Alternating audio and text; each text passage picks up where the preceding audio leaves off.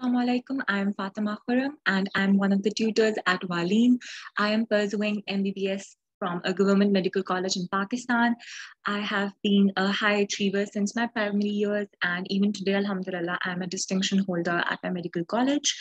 Um, I am offering four different subjects at Valeem. I'm, I'll be offering O-levels English, O-levels biology, O-levels Islamiyat, and O-levels Pakistan studies. I have a good teaching experience um, for the past two years that is going to help me, inshallah.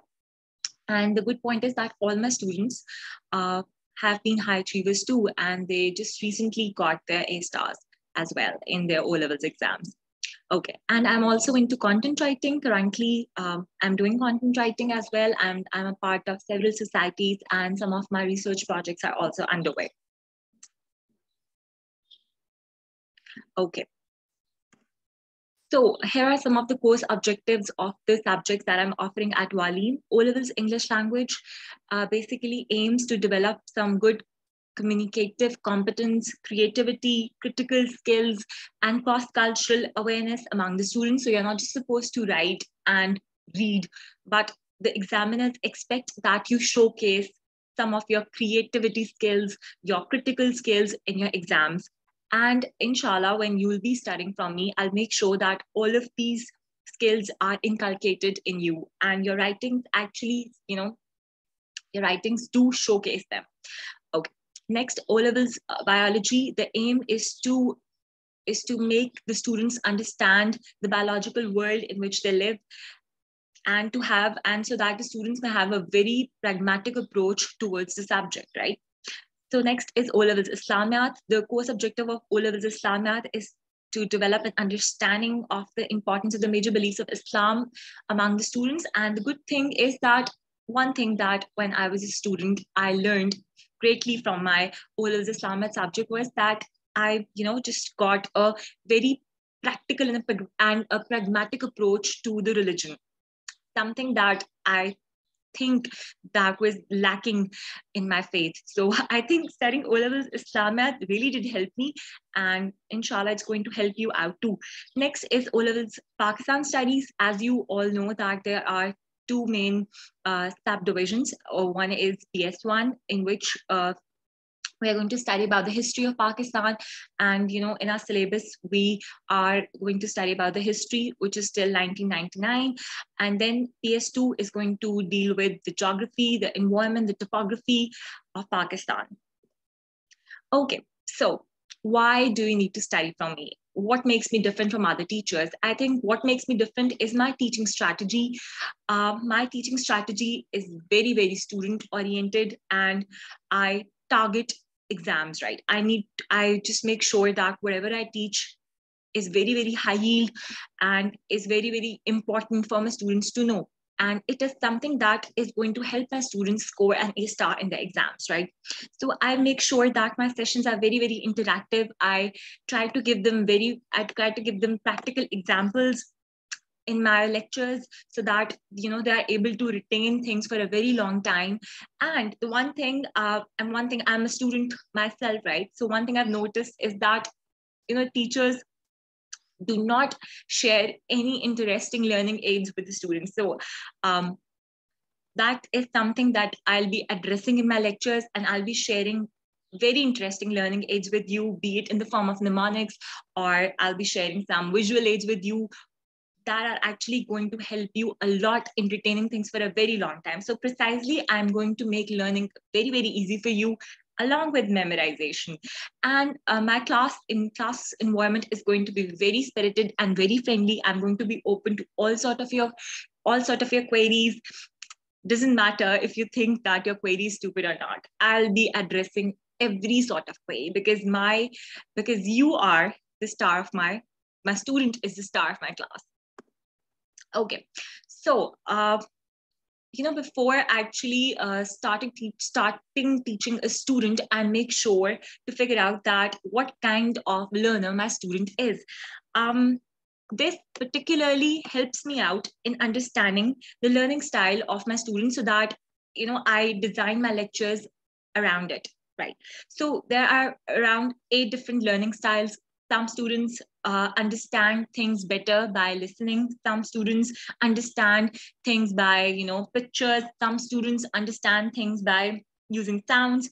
Some students understand things by writing. And some students are a combination of it, whereas some students, they like to study alone this is how they make uh, this is how they learn better whereas some students they require logic for everything so before actually taking your course i'll make sure and I'll, I'll, try to understand that what kind of learner are you so that I design my course and I design my learning strategy, my teaching strategy based on you. Okay, so uh, I'll be giving you a quick demonstration, a quick um, session on formal letter so that, uh, so that you have a good understanding of it. And as you all know that formal letter is one of the mandatory tasks that that comes in the paper in paper one uh, uh, as you all know that paper one of english language is primarily concerned with writing right? And the section one is of directed writing which is a mandatory task and they can give you anything to write, right? So the objectives of today's lecture is that by the end of the lecture, you must have gained an understanding of directed writing. Uh, we'll be discussing different types of letters. We'll also learn about the structure of a formal letter, and then we're going to look at an exam style letter question. And finally, we're going to uh, have a look into the examiner report and marking scheme. Okay. So what actually is directed writing? So directed writing is a piece of writing it's a composition of some length that is written to order, to inform, to complain, or persuade, right? So basically, in your directed writing tasks, they demand you to follow the instructions. You are actually given a given a task with detailed instructions, and uh, they ask you to write a particular form of writing, and they then they add the examiner demands that in your writing you have a you have actually taken the right approach, you have taken the right tone, you have written as per the right audience. Okay, so these are some of the directed writing tasks that are likely to appear in your uh, paper one, section one. Um, you can be asked to write a formal letter, you can be asked to write an informal letter, a report, a speech, a account, a magazine, a news article, so these are all the tasks that are likely to appear in a paper. One of them is likely to appear in a paper, and you must know about all of them. Okay, so before actually understanding what is a formal letter, let us understand what is directed writing. Uh, directed writing with respect to our O-levels English exam. So it's a task in which you are supposed to write about 200 to 300 words. It's very important that you do not exceed the word limit. Instructions are given as three bullet points mostly, and you need to write three different paragraphs for these three, uh, three points. And 15 marks are for language. By language, they mean that was your uh, by language uh, the examiner checks checks that uh, was your uh, punctuation perfect? Was your grammar on point? Uh, were your sentences uh, were, were your sentences coherent? Were your was your sentence structure right?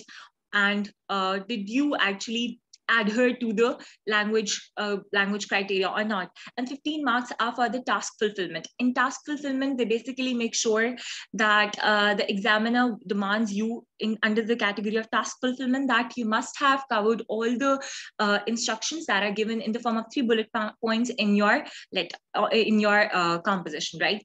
And you have almost 30 minutes for this task as you all know that paper one has a time limit of one hour and 30 minutes. So it's better that you allocate about 30 minutes to this task, right? Okay, next, how to answer a directed writing task. You need to approach this question by keeping in mind four of these things. It goes for every directed writing task purpose. You need to understand after reading the question that what is the examiner demanding you to do, right? So you need to understand the purpose that are you writing the letter to inform? Are you like writing the letter to persuade or are you writing the letter to complain? And what is the audience? You need to understand that uh, is your audience uh, someone you know is your audience someone you don't know is your audience someone of high authority so you need to understand because if you manage to understand your audience only then you'll be able to understand the uh, right tone and the gist of what is tone tone by tone we means uh, by tone we mean? By tone we mean uh, the words you're going to use. In your letter like are you going to be polite? Are you going to be formal? Are you going to be informal? And next is register. So you need to understand that what exactly is the situation you are in and how are you going to write as per it right? Okay now let us understand the different types of letters right? So uh, we know that there are basically two different types of letters be it formal or informal, right? Informal letters are written to someone you know, someone, uh, you know, it, can be written to your mother, it can be written to your friend, it can be written to your brother, and you can be you can be very informal. You can you need not to be you need not to be you know watch out uh, your words or your tone. You can be very easily you can easily communicate with the person. Whereas informal letter you need to make sure that you are very, uh, you know, cautious in terms of language. So there are different types of formal letters. Uh, it can be a letter of a complaint, like it can be a letter of an apology. It can be a letter providing some impo- important information. It can be an application or it can be a letter addressing an important issue. So when you'll be given um, directed writing tasks, please make sure that you do understand that what kind of formal letter they are asking you to write. So it, it is very, very important. A letter of complaint can be a letter. They can ask you to write, um, you know, a letter to an organization or a letter to a company, uh, you know, and you need to complain them of, uh, of a bad product or about their bad service, right? Bad customer service. So it comes under the category of letter of complaint and so on. So uh, an important tip that whenever you are given a letter writing task, please make sure that you do understand that uh, uh, are you asked to write a formal letter or an informal letter? Okay, so now understanding a formal letter. So formal letter is mostly an official or a business letter. It mostly includes letter to principal, editor, an organization, or any of the government department. Or precisely, it's any letter that is written to inform or persuade. Okay, so here are some of the guidelines to write a formal letter. So I, as mentioned before, you need to understand the purpose. You need to check out your tone. You please, uh, please make sure to avoid, uh, you know, avoid using jargons and slangs. Please don't use any informal words. Do not use contractions. Okay, so what are contractions? Contractions, by contractions, I mean, uh, do not write, do, uh, do not write, do not as don't. Do not use words like can't please don't use it because um, informal, uh, you know, when we are writing something formal, we make sure that we do not use contractions. Okay, so please make sure that you write according to the audience and situation. And if the question asks you to begin with dear XYZ or dear editor, do not write addresses or date in the format.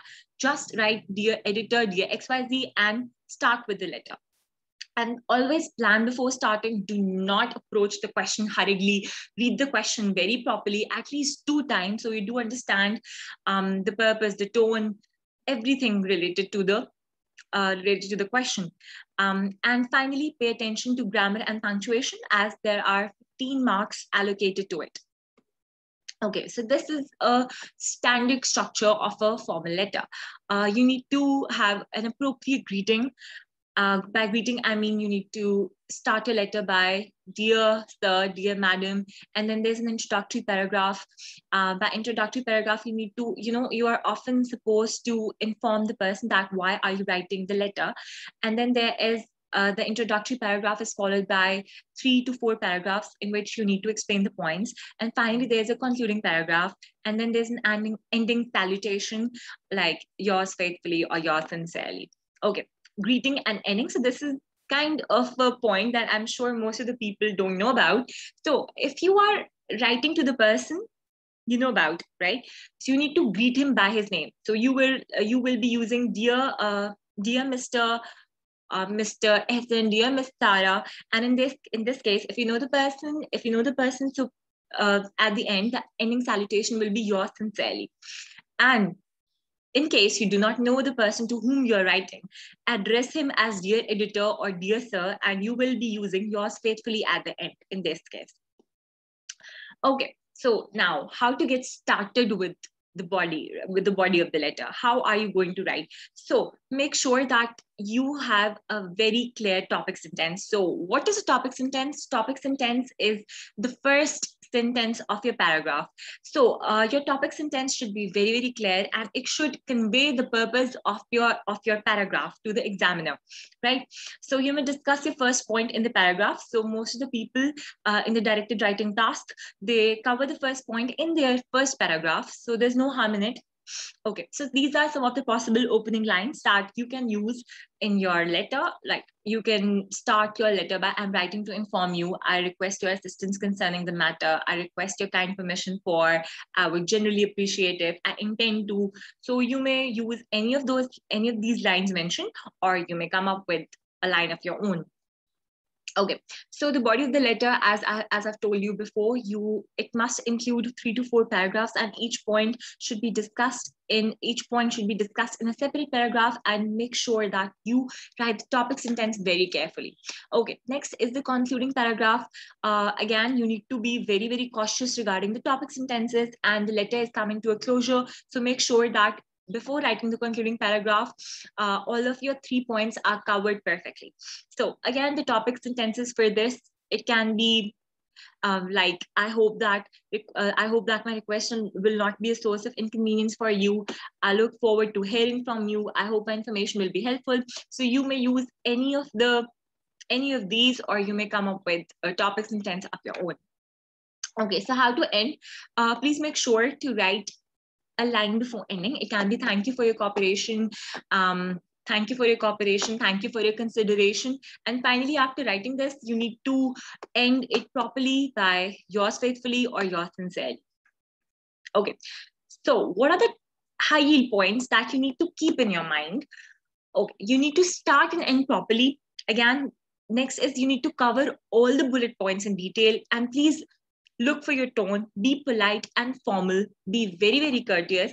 And one thing I'd like to mention more is that in the directed writing task, be very specific. Do not talk generally, be very, very specific. Okay, I'll tell you that how do you need to apply this point. Okay, so let us practice an exam question now. Um, so, so the formal letter did appear in the directed writing portion uh, in the paper of O levels June in the paper of June 2019. So let us approach it. Okay, so uh, you are advised to write 200 uh, the words between 200 and 300. Total marks for this part are 30. 15 marks are for uh, correct language usage and 15 marks are for the task fulfillment, right? Again, so the task is, again, so uh, please make sure that you do understand the task. I'll tell you that how are you supposed to approach this question. Uh, please stay tuned with me. Okay, so the task is that you are walking along a busy road and you see a car drive very close to someone on a bicycle. The car almost knocks the cyclist off the bicycle. So, who are involved in the accident? The bicycle, the car, and the bicycle uh, and the cyclist. Right? You are not the one who's involved in the accident. Next, you are very concerned about the way the car drivers behave towards cyclists, right? So the examiner has already told you that you uh, you are very very uh, you are you know empathetic towards the cyclist. You need to make sure that you do understand that what does the examiner expect from you right? Next is you decide to write a letter to the editor of the local newspaper to complain. So it's a letter of complaint. You are going to complain about the behavior about the misbehavior of the car drivers towards the cyclist. And you are a witness. You are not one of the victim. You need to make sure that you do understand it because i've seen most of the students making mistake at this part that they do not understand the basic uh, task. And then when they're approaching these three points they tend to make lots of mistakes. Okay. Next is write a letter. You must include the following. When and where the incident took place. So by when they mean that at what date uh, at what time did the incident took place take place? At what time did the incident take place? Again, with did, you need to use the first form. Okay. When? Okay.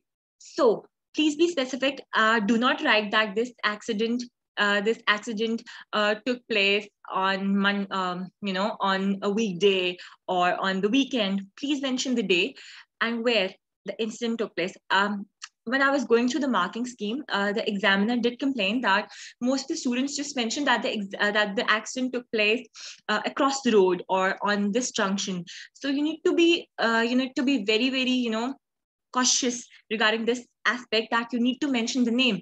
You can say that the accident took place, uh, accident, you can say the accident took place at a notorious junction, and you can even mention the junction. You can take, you can say that the accident uh, took place uh, at a bridge, and you can name the bridge right so please make sure that you be you are very very specific right you can make up the details you know they're not going to cross check your details but again you need to be you need to be you know you know you need to keep this point in your mind that you are being very very specific and you're being very clear with your details right? Because you're reporting something no?